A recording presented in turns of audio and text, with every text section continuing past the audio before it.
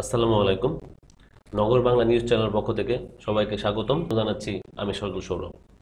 জন্ম নেবে অতিরিক্ত দুই লক্ষ পঁয়ত্রিশ হাজার শিশু। করোনার মহামারীর কারণে লকডাউন ঘোষণার পর দুই মাসে জন্ম নিয়ন্ত্রণ সামগ্রী ব্যবহার পরিমাণ ব্যাপক হারে কমেছে। সেই সঙ্গে বেড়েছে বাল্যবিবাহের সংখ্যা। আবার বেড়েছে ঘরে সন্তান প্রসবের প্রবণতা। বিশেষজ্ঞরা বলেছেন জন্ম নিয়ন্ত্রণ কার্যক্রম ব্যাহত হয়। এবছর প্রায় দুই লক্ষ পঁয়ত্রিশ হাজার অতিরিক্ত শিশু জন্ম নিবে। জাতিসংঘ শিশু তহবিলও দেশের জন্মহার বাড়ার ইঙ্গিত দিয়েছে। সাধারণ সময়ে দেশে প্রতি বছর প্রায় বিশ লক্ষ শিশু জন্ম নেয়।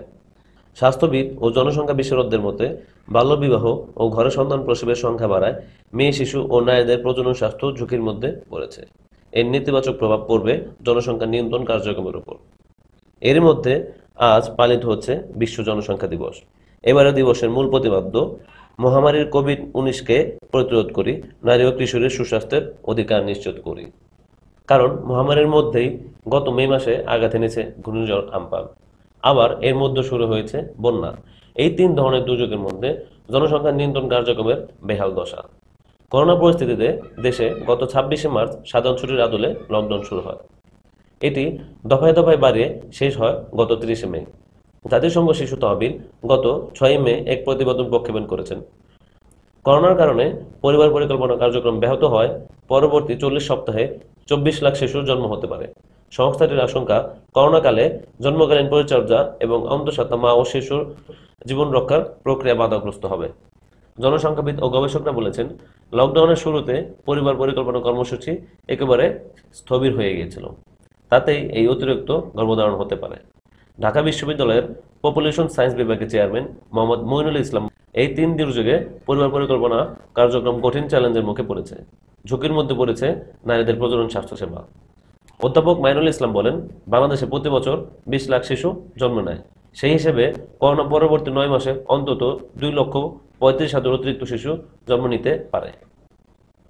যুক্তরাষ্ট্র ভিত্তিক জনসংখ্যা গবেষণা প্রতিষ্ঠান পপুলেশন কাউন্সিলের দেশীয় পরিচালক এবং জনসংখ্যা বিশেষজ্ঞ অবৈধ রব গতকাল বলেন, কোভিডের কারণে আমরা জনসংখ্যা নিয়ন্ত্রণ কার্যক্রম বেশ পিছিয়ে গেছি। এই কারণে জনসংখ্যা কিছু বাড়বে। এখন জনসংখ্যা বৃদ্ধি রোধে বাড়তি গতি দরকার। করোনার কারণে প্রাথমিকভাবে সবকিছু স্থবির হয়ে যাওয়ায় এর প্রভাব জনসংখ্যা নিয়ন্ত্রণ কার্যক্রমের উপর পড়েছে। তা স্বীকার করেন পরিবার পরিকল্পনা অধিদপ্তরের পরিচালক মোহাম্মদ শরীফ। তিনি বলেন, কিছু ঘটনা ঘটে গেছে। প্রাথমিকভাবে কার্যক্রম কিছুটা কম থাকলেও পরে বেড়েছে। এখন অবস্থা স্থিতিশীল আছে। বেড়েছে বাল্যবিবাহ করোনাকালে দেশে বেড়ে গিয়েছে বাল্যবিবাহ আন্তর্জাতিক সংগঠন প্ল্যান ইন্টারন্যাশনাল কুড়িগ্রাম জেলার বাল্যবিবাহ ঘটনা নজরদারি করে। সংস্থার এক প্রতিবেদন বলেছে, চলতি বছরের ফেব্রুয়ারি ও মার্চ মাসে জেলায় বাল্যবিবাহ সংখ্যা ছিল আট শতাংশ। এপ্রিলে এসে এটি এক শতাংশ বেড়ে যায়। মে মাসে মোট বিয়ের এগারো শতাংশ বাল্যবিবাহ হয়। বেসরকারি সংগঠন ব্র্যাকের জেন্ডার জাস্টিস অ্যান্ড ডাইভার্সিটি বিভাগের মে মাসের এক গবেষণায় দেখা গেছে, বাল্য বাল্যবিবাহ আগের চেয়ে তেরো শতাংশ বেড়ে গেছে।